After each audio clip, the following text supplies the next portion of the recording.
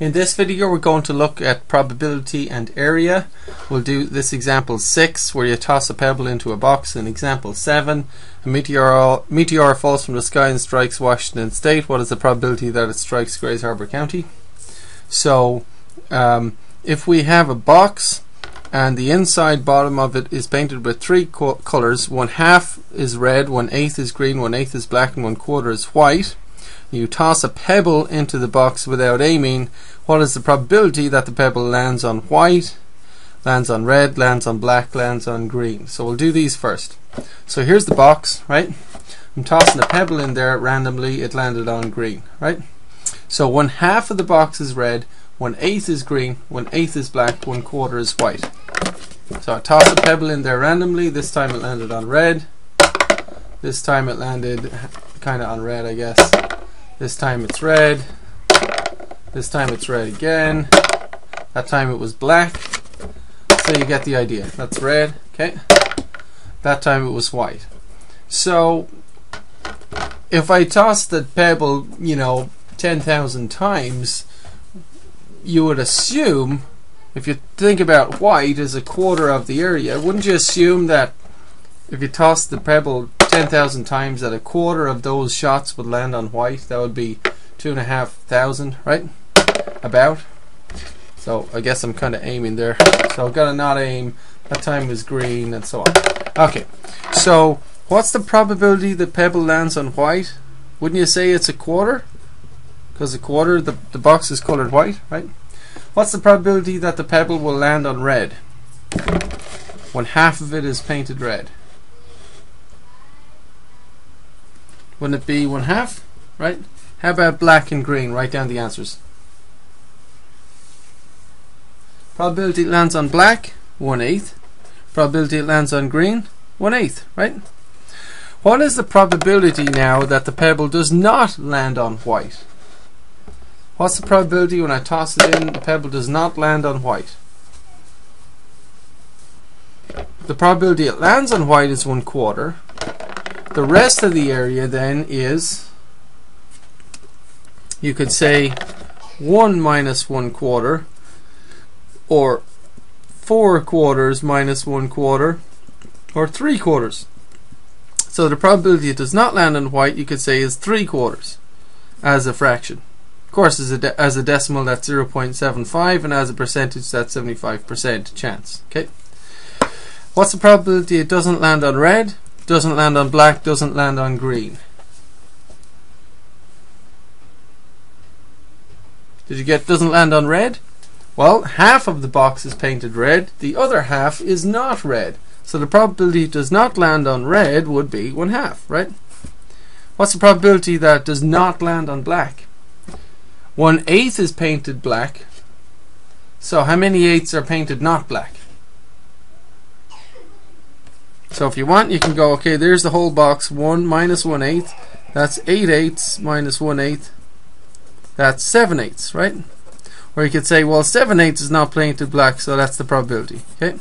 What's the probability it doesn't land on green?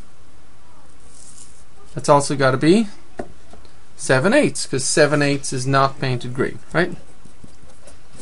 So, how would we calculate this one? A meteor falls from the sky and strikes Washington State. What is the probability that it strikes Grays Harbor County? What information would you need to calculate this? Isn't it kind of like the pebble in the box problem? So if you imagine the green part to be Grays Harbor County and this is the meteor. Ooh, it missed that time. Here's the meteor coming again. Oh, just missed Grays Harbor County that time, right? Here it comes again. Oh, just missed. So the probability of that pebble striking the green part we said was on eighth, and we got that by no, by knowing the area, right? So don't you agree that if you knew the area of Grays Harbor County and the area of Washington State, you'd be able to calculate this probability, wouldn't you? So the area of Grays Harbor County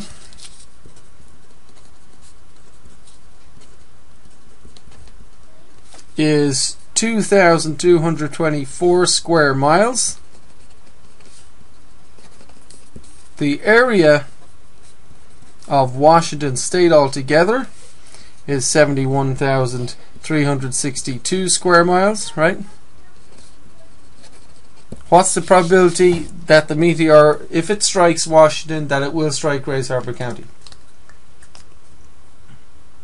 Press pause and do that. Have you got it? Okay, I hope you've tried it. The probability that the meteor, if it strikes Washington, that strikes Harbor County would be 2, sorry, whoops, 2, 2, 2, 4 over 7, 1, 3, 6, 2. Okay? And what does that give? Gives 0 0.031165, etc. Give that as a decimal to, uh, as a percentage to one decimal place percentage to one decimal place. Three point and turn the decimal into a percentage. Three point and this is a one and the, the next one is a one so we round down. So 3.1 percent, right? So the probability if the meteor hits Washington State, the probability that it hits Grays Harbor County is 3.1 percent. Very low, right? Now, is this probability theoretical or empirical? Is this a theoretical probability or an empirical probability and why? So if you take out your definition real quick and read it, theoretical probability is the probability of an event that can be measured exactly. Empirical probability is the probability of an event based on data collected in real life experiments. So how about we shoot down about a thousand meteors onto Washington State and count how many of the meteors hit Grays Harbor County, then we'll really know the probability of it hitting Grays Harbor County, right? That would be empirical probability. That's collecting real life data. Doesn't sound like fun, does it? Right. So what we've done here is we've calculated the theoretical probability, haven't we? Theoretical probability, 3.1%. How about these guys? When we did the box, did we toss a pebble in there and count how many times it landed on green and red and white? Or did we just calculate the probabilities from the area and just get exact probabilities based on logic? So which do we do?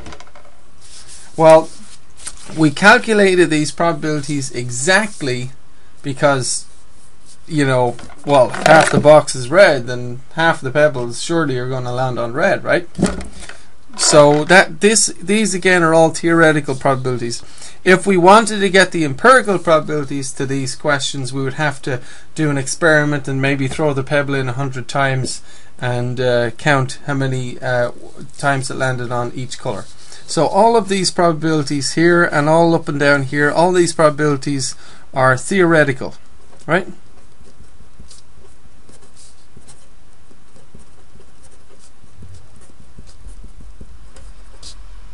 Not empirical.